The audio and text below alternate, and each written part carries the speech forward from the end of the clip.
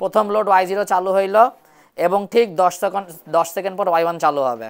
আমরা আমাদের এইচএমআই সফটওয়্যারে যেই ডিজাইন করছিলাম same to same to same design আমরা হচ্ছে আমাদের এইচএমআই এর হার্ডওয়্যারে দেখতে পাচ্ছি। আমাদের অ্যানিমেশন কাজ করতেছে। আমরা কিন্তু আমাদের ল্যাপটপের সাথে এটার কমিউনিকেশন কেবল খুলে ফেলছি। কিন্তু এরপরে দেখেন টাইমও ঠিক আছে ডেটও ঠিক আছে এবং সেকেন্ড কাউন্ট করতেছে কন্টিনিউয়াসলি তার মানে আমার ফিচার ঠিক আছে, আমার যদি ল্যাপটপের সাথে কমিউনিকেশন কেবল খুলেও ফেলি নো প্রবলেম কাজ করবে। এখন যদি আমি আমার অন বাটনে চাপ দিই প্রথম লোড ওয়াই জিরো চালু হইল এবং ঠিক দশ সেকেন্ড দশ সেকেন্ড পর ওয়াই ওয়ান চালু পর?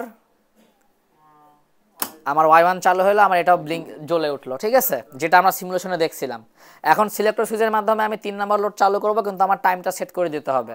সো আমি এখানে টাচ করলাম ডিসপ্লে ভেসে আসলো। কয় সেকেন্ড পর অন করতে যাচ্ছি? সাপোজ চার সেকেন্ড জাস্ট চার দিব দিয়ে এন্টার এখন সিলেক্টরটা অন করলাম। টাইমার টাইম কাউন্ট করা শুরু করল ঠিক চার সেকেন্ড পর আমার তিন নাম্বার লোডটাও চালু হয়ে গেল। আবার যদি অফ করে দেই, তিন number load off push button off করে দিলে প্রথম দুটা লোড অফ তাহলে যা কিছু আমরা অনলাইনে করছি সেম টু সেম আমরা হার্ডওয়্যারে পাইছি। তার মানে আমার প্রোগ্রাম ঠিক আছে কমিউনিকেশনও ঠিক আছে। এটাই ছিল আমাদের ডেল্টা এইচএমআই এর মাধ্যমে যে কোনো ব্র্যান্ডের পিএলসি কন্ট্রোল করা। বুঝছি? ওকে